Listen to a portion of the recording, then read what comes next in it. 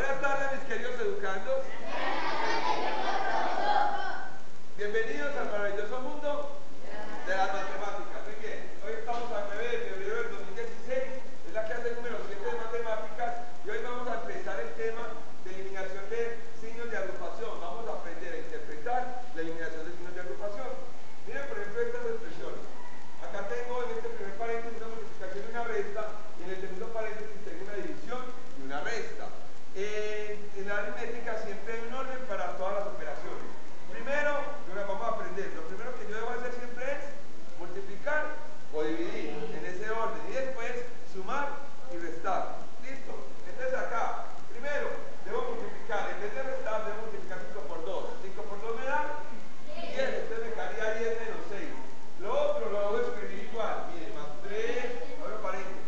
Lo tenemos acá, 15 dividido 3 que me da 5. De 5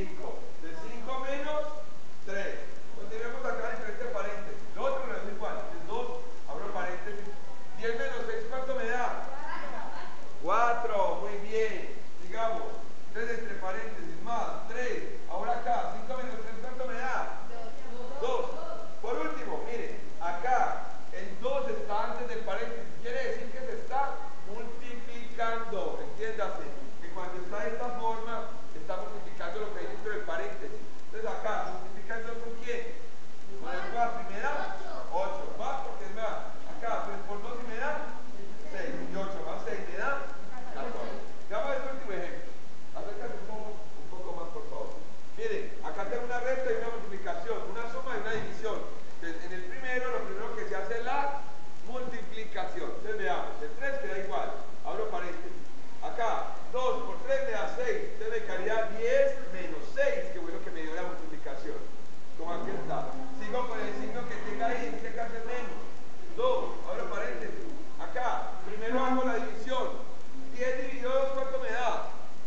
5, entonces aquí me quedaría 5 más 5, que es lo que me dio la división. Muy bien, ahora, lo que está fuera del paréntesis lo dejo ahí. ¿Qué me da 10 menos 6? 4 menos 2, ¿qué me da 5 más 5? 10. Por último, se multiplica acá. 3 por 4, 12. Menos porque es menos. 2 por 10, 20. Y recuerden que estamos ya en los enteros. 12 menos 20. Ne- menos 8. Mire que, ojo, son signos diferentes, se restan y se le coloca el signo del mayor. Quiere decir que a 12 le resto 20 me da menos 8. ¿Me entender mis queridos educandos?